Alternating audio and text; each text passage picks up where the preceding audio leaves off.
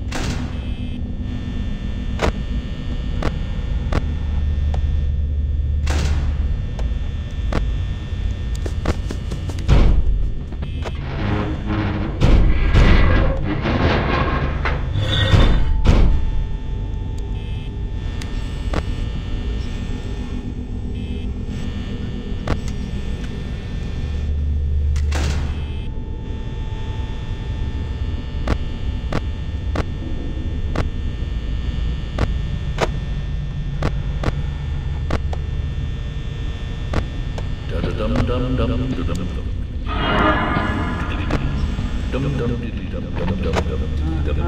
dum dum